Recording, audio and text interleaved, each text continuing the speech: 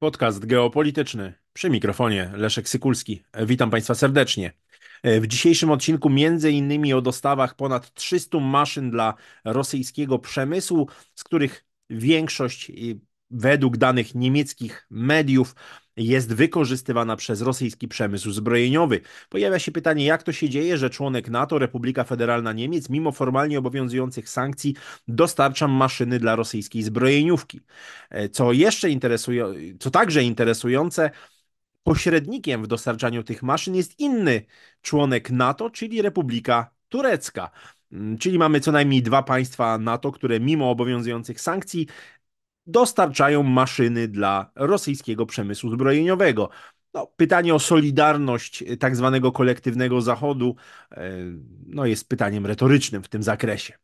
Kolejny ważny temat to są słowa ministra sprawiedliwości, pana Adama Bodnara, który mm, w miniony piątek w Luksemburgu e, poinformował, że jest coraz bliżej powołania Trybunału do spraw zbrodni agresji przeciwko Ukrainie. Przyjrzę się tutaj dla Państwa założeniom tego, tego projektu, jak to miałoby wyglądać i oczywiście spróbuję odpowiedzieć na pytanie, dlaczego Polska jest cały czas w awangardzie tych państw, które działają, działają na rzecz, na rzecz państwa ukraińskiego. Władze w Warszawie, no, można powiedzieć, są tutaj bardzo mocno nadgorliwe w tym, w, te, w, te, w tym zakresie. Kolejne ważne, ważne sprawy, kolejne ważne wątki to kwestia pomocy humanitarnej do strefy gazy. Okazuje się, że od początku października do północnej strefy gazy nie dotarła żadna pomoc, aż milionowi mieszkańców grozi głód. E, ta sprawa wywołuje ogromne, ogromne poruszenie na arenie międzynarodowej. W Polsce ten temat jest wyciszany, natomiast okazuje się, że jedno z państw już ogłosiło zerwanie stosunków dyplomatycznych z Izraelem, zarzucając zbrodnie e, przeciwko narodowi palestyńskiemu. O tym wszystkim w dzisiejszym odcinku, podobnie jak e, temat oczywiście też powraca w kontekście Izraela, ostrzelania sił pokojowych ONZ. Okazuje się, że Izrael idzie tutaj krok dalej, zwracając się do sekretarza generalnego ONZ o wycofanie sił ONZ y, z obszaru Libanu. No, jest to sprawa właściwie bezprecedensowa. W, jeżeli chodzi o mm, siły UNIFIL. No i pytanie, co, co dalej, ponieważ także stacjonują tam żołnierze Wojska Polskiego. E, tematem ostatnim, ale bardzo istotnym jest temat obrony cywilnej. Powracam do tego tematu wielokrotnie, powracałem i powracam w odcinkach podcastu geopolitycznego. Dzisiaj przykład Finlandii, e, kraju o wiele, o wiele mniejszego niż Polska, który ma e, no, bardzo, ale to bardzo zaawansowany system obrony cywilnej. Przyjrzymy się takim najważniejszym, powiedziałbym, flagowym, fundamentalnym założeniom tego, e, tego, tego programu. Zobaczycie Państwo także e, kilka slajdów e, pokazujących, jak to wygląda właśnie w Finlandii. Tymczasem zachęcam Państwa do subskrypcji mojego kanału, do wspierania go, do komentowania, do udostępniania linków w mediach społecznościowych, do lajkowania i zapraszam do obejrzenia, wysłuchania pierwszego tematu. Niemieckie media informują, że spora część dostaw zagranicznego sprzętu istotnego dla rosyjskiej gospodarki, w tym dla produkcji zbrojeniowej, jest dostarczana z Niemiec. I to jest bardzo ważna wiadomość, że kraj Sojuszu Północnoatlantyckiego, kraj członkowski NATO, dostarcza sprzęt, który jest wykorzystywany w rosyjskim przemyśle zbrojeniowym i to już po nałożeniu formalnych sankcji. Tak wynika z ustaleń rozgłośni Südwestrundfunk, w skrócie SWR. O tym wszystkim poinformował także portal internetowy publicznego nadawcy telewizyjne, telewizyjnego Tagesschau 10 października bieżącego roku. No, dziennikarze SWR powołując się na rosyjskie dokumenty celne, ustalili, że do końca 2023 roku miało miejsce ponad 300 dostaw sprzętu od niemieckich producentów do Rosji. I w większości były to duże maszyny przemysłowe e, lub tak zwane maszyny CNC, czyli maszyny komputerowe sterowa- e, zapewniające komputerowe sterowanie cyfrowe, e, które pozwalają na przykład w pełni automatycznie ciąć stal czy spawać części metalowe bardzo precyzyjnie. E, tutaj Warto zauważyć, że spora część tych maszyn, maszyn CNC jest w Rosji wykorzystywana w produkcji wojskowej. Co więcej, na podstawie tych tego śledztwa niemieckich mediów okazało się, że takie firmy rosyjskie jak NIR, Kamas, Parsek, Industrial Solutions dostarczają silniki, e, części do samolotów czy do rakiet dla rosyjskiej armii, opierając się właśnie na pracy ma maszyn dostarczonych przez niemieckie firmy. E, I właśnie rozgłośnia SWR zidentyfikowała ponad 30 niemieckich producentów, w tym takie przedsiębiorstwa jak Vollmer czy Walter Maschinenbau, Heller, no i Wiele innych, wiele z nich ma siedzibę w Badeni-Württembergi, czyli w takim inżynieryjnym zagłębiu e, Niemiec. E, co interesujące, te maszyny z Niemiec nie wędrują wprost e, do Rosji, ale są dostarczane przez pośredników. I tutaj też bardzo ważna uwaga, bardzo ważna informacja. Kolejny kraj natowski, kolejny członek Sojuszu Północnoatlantyckiego, w tym przypadku Turcja, jest takim pośrednikiem. Tak przynajmniej wynika z doniesień niemieckich, niemieckich mediów. No czyli mamy, krótko mówiąc, do czynienia z sytuacją, kiedy Niemcy zarabiają na wojnie na Ukrainie. No, trudno to inaczej e, nazwać. Widać, jak bardzo mocno od samego początku tej nowej odsłony wojny na Ukrainie, no bo przecież wojna na Ukrainie toczy się od, nie od 2022, ale od 2014 roku, ale od tej nowej odsłony, od tej rozpoczęcia wojny ograniczonej e, przez, e, przez Rosję 24 lutego 2022 roku, widać, że Niemcy bardzo niechętnie wspierają e, Ukrainę. Bardzo dużo się mówiło o dostarczaniu hełmów przez Niemcy i różnego innego sprzętu mniejszej wagi, że tak to określę najdelikatniej jak potrafię. Natomiast widać, że niemieckie firmy doskonale radzą sobie z dostarczaniem właśnie tego sprzętu, tych maszyn, e, które są objęte sankcjami i to dostarczania go wprost do Federacji, dostarczania go do Federacji Rosyjskiej przy udziale innego kraju członkowskiego NATO. No to oczywiście pojawia się pytanie o solidarność tak zwanego kolektywnego Zachodu. Mamy do czynienia z ewidentnym roz, rozdziałem interesów.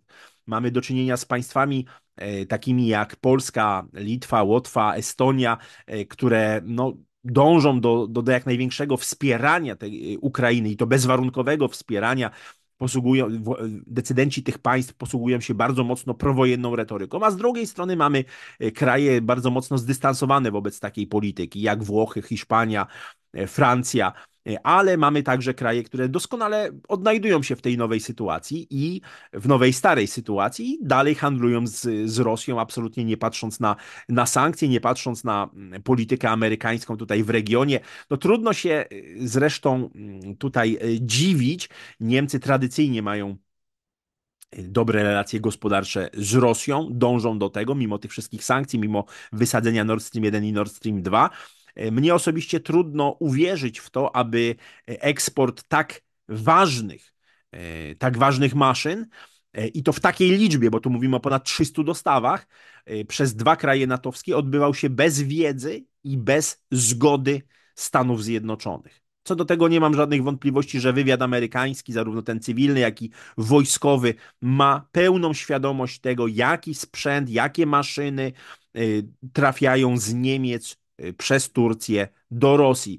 W tym wszystkim niestety najsmutniejsze jest to, że, że Polska najwięcej traci. Polska jest w awangardzie krajów, które y, są, stosują bardzo ostrą, rusofobiczną właśnie narrację. Polska bardzo dużo straciła gospodarczo i w, w, zakresie bezpieczeństwa na wojnie na Ukrainie. Polska nic nie zyskała gospodarczo w tym zakresie, natomiast kraje takie jak Niemcy się po prostu bogacą na tej, na tej wojnie. My po raz kolejny wychodzimy tutaj na pariasa, na jak to sami zresztą mm, przedstawiciele ukraińskiego establishmentu y, mówią, wychodzimy na ta, jako państwo polskie na łochów, czyli na frajerów. W miniony piątek, 11 października 2024 roku, minister sprawiedliwości Adam Bodnar oznajmił w Luksemburgu, że niedługo zostanie powołany Międzynarodowy Trybunał, który ma badać, i to jest cytat, zbrodnie rosyjskiej agresji na Ukrainę. Koniec cytatu. Trybunał taki miałby funkcjonować w strukturach Rady Europy. Oficjalna nazwa to Specjalny Trybunał do spraw zbrodni agresji przeciwko Ukrainie. I tenże Trybunał zajmowałby się jedynie tym, tym jednym zagadnieniem dotyczącym właśnie wojny na Ukrainie. Miałby badać między innymi, to będą e, cytaty, e, kto wydał decyzję o samej wojnie napastniczej, kto jej przewodził, kto podejmował decyzje o atakach na Ukrainę. Jak przyznał e, minister Bodnar, społeczność międzynarodowa jest coraz bliżej powołania takiej instytucji i też warto tutaj zacytować samego ministra Bodnara, bo to jest oddaje charakter jakby też działań polskiej dyplomacji, polskiego Ministerstwa Sprawiedliwości. To jest cytat z ministra Adama Bodnara. Co z tego, że ktoś osądzi dowódcę, który wydał haniebne rozkazy w Buczy czy Mariupolu, jeśli nie zostaną osądzone osoby faktycznie odpowiedzialne za decyzję o rozpoczęciu wojny, takie jak e, Putin e, czy Szojgu. Koniec E, koniec cytatu. No, widzimy tutaj, że Polska ustawia się absolutnie w awangardzie tych krajów, które są bardzo mocno nastawione antyrosyjsko i e, niewątpliwie no, trudno szukać tutaj podobnych zachowań podobnych wypowiedzi wśród czołowych polityków e, dzisiaj Włoch, Hiszpanii, właśnie Węgier, Słowacji czy, czy Niemiec. Widać, że jak Państwu pokazałem na samym, na samym wstępie, zresztą jak pokazują niemieckie, niemieckie media, bo ja tylko to relacjonuję i komentuję, e, Niemcy doskonale się, doskonale robią doskonałe biznesy, robią doskonałe interesy na tej wojnie, natomiast Polska nie tylko, że nie ma z tego nic, to Polska straciła bardzo dużo, finansując y, Ukrainę, dostarczając mnóstwo sprzętu, y, pomocy, y, goszcząc miliony obywateli Ukrainy na terenie naszego kraju, finansując tutaj ochronę, jeżeli chodzi o służbę zdrowia, e, przekazując paliwo i tak dalej, i tak dalej, przekazując całą opiekę socjalną 500, 800 plus, no i, i tak dalej. Wiemy doskonale, jak bardzo mocno obciążyło to budżet państwa polskiego, jak przyczyniło się także do wzrostu inflacji, do spadku siły nabywczej złotówki. No, wiemy, jak to wygląda. Tutaj minister Bodnar ustawia się w, w roli, tak jak powiedziałem, jednego z takich e, bardzo zaangażowanych, e, polityków e, w, w działania mm, wymierzone przeciwko, przeciwko Rosji. E, przypomnę tylko, że trwa międzynarodowe śledztwo w sprawie tego, co się wydarzyło realnie w Buczy i jak dotąd, to też jest bardzo ważna informacja, jak dotąd nie ma twardych, niezbitych dowodów dotyczących mm, zbrodni, zbrodni wojennych. To też jest wa ważna, ważna informacja i warto oczywiście też to pamiętać tutaj w tym momencie no, trzeba się odwołać do faktów, do konkretów. E, przede wszystkim do wypowiedzi pana Erika Mose, czyli przewodniczącego Międzynarodowej Komisji Śledczej ONZ, Organizacji Narodów Zjednoczonych, do spraw zbrodni na Ukrainie. Jest taka e, komisja i ta komisja miała zająć się między innymi, między innymi kwestią e, wyjaśnienia tego, co wydarzyło się w Buczy bardzo ważna e, informacja z września 2023 roku na specjalnej konferencji prasowej w Kijowie. Pan Erik Mose powiedział, i to jest cytat, na obecnym etapie nie doszliśmy do wniosku, że na Ukrainie ma miejsce ludobójstwo. Koniec cytatu e, z właśnie przewodniczącego Międzynarodowej Komisji Śledczej ONZ. E, też warto zauważyć, że ta, to śledztwo toczy się już bardzo długo. Mamy już praktycznie y, za niedługo będą dwa lata od tej nowej odsłony konfliktu na Ukrainie. No i trudno tutaj nie zwracać uwagi na to. Kwestia y, oczywiście działań wojennych zawsze wywołuje mm, bardzo y, duże emocje, natomiast no, warto się trzymać faktów.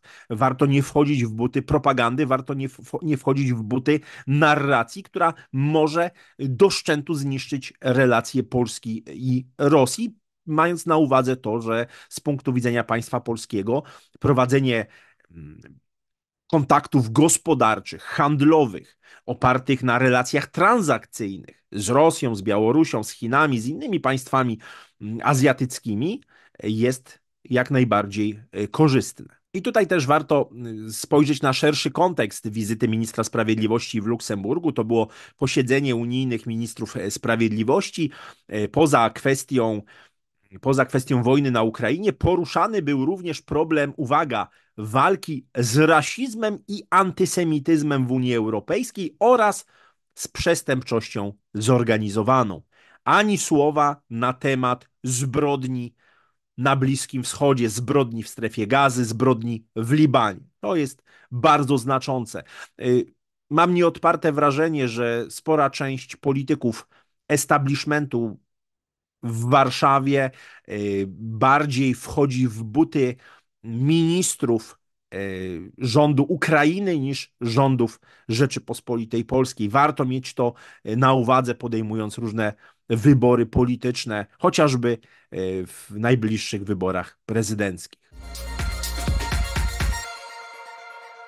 Światowy Program Żywnościowy poinformował, że od początku października bieżącego roku do północnej strefy gazy nie dostarczono żywności, a to z kolei naraża około miliona mieszkańców na głód. Ten raport opublikowany właśnie przez Światowy Program Żywnościowy informuje, że ta pomoc docierająca do strefy gazy spadła do najniższego poziomu od wielu, wielu miesięcy. To wszystko spowodowało, że organi- no, zostały wstrzymane dystrybucje paczek żywnościowych. Głód jest powszechny. Zagrożenie klęską głodu cały czas postępuje, natomiast tak naprawdę mamy do czynienia z sytuacją, kiedy świat tym, e, w tym kontekście milczy. No, czy właściwie nawet nie tyle milczy, co po prostu nic nie robi. Po prostu nic, e, nic nie robi. Mamy sytuację, w której od 6 października e, wojsko Izraela rozpoczęło nową operację naziemną w północnej, w północnej Gazie. No i cóż, mamy sy sytuację, w której dochodzi do kolejnej hekatomby ludności, ludności cywilnej. Tymczasem władze Nikaragui e, właśnie w ubiegły piątek ogłosiły zerwanie stosunków dyplomatycznych z Izraelem, określając izraelski rząd mianem, to jest cytat, faszystowskiego. E, władze Nikaragui zarzucają Izraelowi wprost ludobójstwo wobec Palestyńczyków w strefie gazy. E, I to, to, jest, to jest bardzo oczywiście mocne, to jest bardzo mocny y, ruch taki dyplomatyczny. Co więcej, tutaj władze Nikaragui ostrzegają społeczność międzynarodową, że konflikt rozprzestrzenia się także na Liban, poważnie zagraża Syrii, Jemenowi i Iranowi. W związku z tym właśnie parlament Nikaragui przyjął taką, y, a nie inną y, uchwałę. Tutaj też trzeba jasno, jasno powiedzieć, że ten konflikt y, cały czas się rozszerza. Benjamin Netanyahu, premier rządu Izraela, wezwał, zaapelował do ONZ-u o ewakuację sił pokojowych, o ewakuację y, UNIFIL-u, czyli tej misji y, wojskowej, która zresztą działa na południu Libanu od uwaga, 1978 roku. Tam, jak już zresztą wspominałem w poprzednim odcinku podcastu geopolitycznego, służy około 10 tysięcy żołnierzy wojsk pokojowych, w tym e, Polacy. Ten polski kontyngent liczy ponad 200 ludzi. E, no i mamy do czynienia z sytuacją niezwykle niebezpieczną, ponieważ tak jak podają e, izraelskie media, izraelski premier zwrócił się bezpośrednio do Antonio Guterresza, do sekretarza generalnego ONZ, który swoją drogą został ogłoszony jako persona non grata, został określony per, mianem persona non grata, czyli osoby niepożądanej w Izraelu, ponieważ zdaniem Izraela niezbyt mocno potępił, e, potępił działania przeciwko Izraelowi. No, mamy do czynienia z kuriozalną sytuacją, ale z, jednej, ale z drugiej strony z bardzo niebezpieczną sytuacją. Ewidentnie siły obronne Izraela, IDF, szykują takie działania w Libanie, które, które po prostu zagrażają, które zagrażają życiu i zdrowiu także tego personelu misji pokojowej ONZ. No i mamy do czynienia z, właściwie z bezsilnością społeczności międzynarodowej, przynajmniej na tym etapie, z bezsilnością Organizacji Narodów Zjednoczonych. To pokazuje, że wszyscy ci, którzy wierzą w prawo międzynarodowe, wierzą w społeczność międzynarodową, wierzą w siły pokojowe ONZ, no są po prostu zwyczajnie naiwni są zwyczajnie naiwni. Polityka Izraela,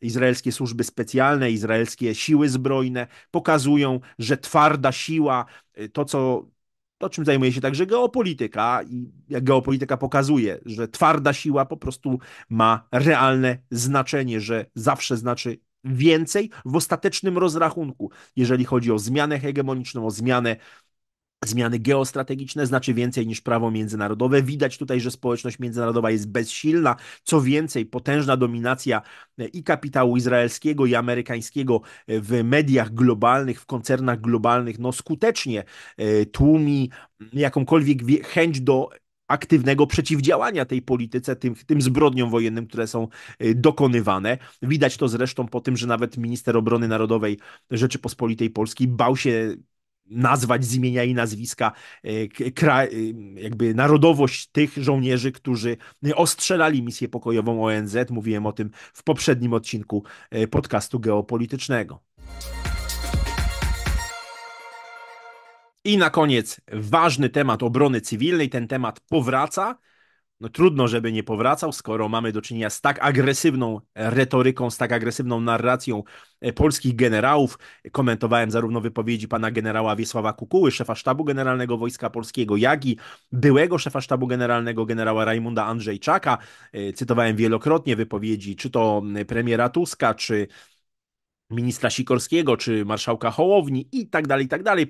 Widzowie, słuchacze pod, y, mojego kanału, podcastu geopolitycznego doskonale te wypowiedzi znają, a jednocześnie y, widzowie i słuchacze podcastu wie, znają y, katastrofalny stan obrony cywilnej, bo wielokrotnie powoływałem się na raporty Najwyższej Izby Kontroli, które pokazują, że w Polsce tego systemu po prostu nie ma. Natomiast Pytacie mnie Państwo, czy to na spotkaniach autorskich, czy w wiadomościach prywatnych, jaki kraj mógłby być wzorem dla Polski? Czy da się stworzyć taki system skuteczny obrony cywilnej, jeśli nie dla wszystkich obywateli, obejmujący schronienia, schrony, takie z prawdziwego zdarzenia dla wszystkich, to przynajmniej dla większości. No oczywiście, że jest i myślę, że dobrym przykładem jest tutaj Finlandia. Finlandia, kraj, który liczy 5,5 miliona mieszkańców i który może być absolutnie wzorem tego, jak można poważnie podchodzić do bezpieczeństwa ludności cywilnej w pierwszej kolejności. E, I spójrzmy na ten, oczywiście ogólnie dziś e, spojrzymy na ten ogólnokrajowy system obrony cywilnej, bo to jest rzeczywiście ogólnokrajowy. Na początku 2022 roku w Finlandii było ponad 50 tysięcy schronów dla ludności cywilnej, w których mogło przebywać łącznie 4 miliony 800 tysięcy osób. To, jest, y, to są schrony, które zapewniają ochronę i przed eksplozjami, i przed y, odłamkami, i przed zawaleniem się budynków, i przed falami uderzeniowymi, i przed promieniowaniem, i przed substancjami niebezpiecznymi w przypadku katastrof y, technicznych, różnego rodzaju awarii właśnie związanych z, z uszkodzeniem cystern i tak dalej, i tak na przykład, czy jakichś zakładów przemysłowych. Te publiczne schrony obrony cywilnej są budowane w dużych miastach. Y, także wykorzystywane są stacje metra jako schrony awaryjne. Przypomnę tylko, że metro warszawskie w całości nie jest przeznaczone jako taki awaryjny schron, nie spełnia takich, nie spełnia takich wymogów. Y, mamy do czynienia z sytuacją, kiedy wszystkie schrony obrony cywilnej w Finlandii są utrzymywane na takim poziomie, że można je przygotowywać do użytku w ciągu 72 godzin. I proszę też zauważyć, to tutaj Państwo będziecie widzieć tutaj na fotografiach, że w normalnych warunkach, w sytuacji pokoju, te schrony obrony cywilnej są wykorzystywane jako na przykład y, obiekty rekreacyjne. Są tam boiska do gry w siatkówkę, w koszykówkę, y, są wykorzystywane jako powierzchnie magazynowe, natomiast w sytuacji y, właśnie takiej potrzeby w ciągu 72 godzin są są oczywiście dostosowywane do potrzeb obrony, obrony cywilnej. Tutaj patrzy się długofalowo w Finlandii na tego typu sprawy. E, one muszą być kontrolowane, serwisowane. Co 10 lat każdy taki schron przechodzi, e, przechodzi serwis. Mm, I oczywiście to, to działa, to działa. Zresztą istnieje specjalna ustawa o ratownictwie w, w, Finlandii, zgodnie z którym schron obrony cywilnej musi zostać zbudowany w każdym budynku, jeżeli powierzchnia użytkowa tego budynku przekroczy 1200 metrów kwadratowych, a ten budynek jest wykorzystywany jako stałe miejsce zamieszkania bądź, bądź pracy, albo w jakikolwiek sposób stale zajmowany przez, przez ludzi. W samych Helsinkach, w samej stolicy Finlandii jest około 5,5 tysiąca schronów y, obrony cywilnej, które dysponują y, aż 900 tysiącami miejsc. No to jest y, nie, wystarczające nie tylko dla mieszkańców, ale także pokrywa nas zapotrzebowanie na schronienie osób odwiedzających stolicę, stolicę Finlandii. No, widzimy tutaj, że Finlandia po, podchodzi do tego bardzo, ale to bardzo poważnie jest sytuacja, w której te tak zwane twarde schrony, te schrony dodatkowo wzmocnione, które mogą wytrzymać uderzenie bomby atomowej o mocy 100 kiloton, czyli kilkukrotnie silniejszej niż ta, która została zrzucona na Hiroshimę, mogą pomieścić aż ponad 3,5 miliona osób ponad 3,5 miliona osób y, mogą pomieścić schrony, które są w stanie wytrzymać uderzenie bomby atomowej o mocy 100 kiloton. No to jest y, coś, y, co, co nie ma żadnego porównania, jeżeli chodzi o warunki polskie. To schrony przeciwatomowe w Polsce to jest ułamek procenta tak naprawdę tych, tych wszystkich budowli ochronnych, które mogłyby tutaj służyć. No myślę, że to powinno dawać do myślenia, szanowni państwo, powinno dawać do myślenia nie tylko decydentom, ale także także wszystkim obywatelom państwa polskiego posiadającym prawa wyborcze. Jak to się dzieje? Przez, przez ostatnie trzy dekady nie zrobiono kompletnie nic, a co więcej, zrobiono bardzo wiele, aby zniszczyć system obrony cywilnej w Polsce, a dodatkowo jeszcze stosuje się bardzo agresywną retorykę prowojenną, y, retorykę rusofobiczną, która eskaluje napięcie w relacjach z sąsiadem atomowym no mamy do czynienia z sytuacją niewyobrażalną i najsmutniejsze w tym wszystkim jest to, że obywatele nadal głosują na tych, właśnie na te formacje polityczne, które doprowadziły do zniszczenia systemu obrony cywilnej. Dziękuję Państwu za uwagę.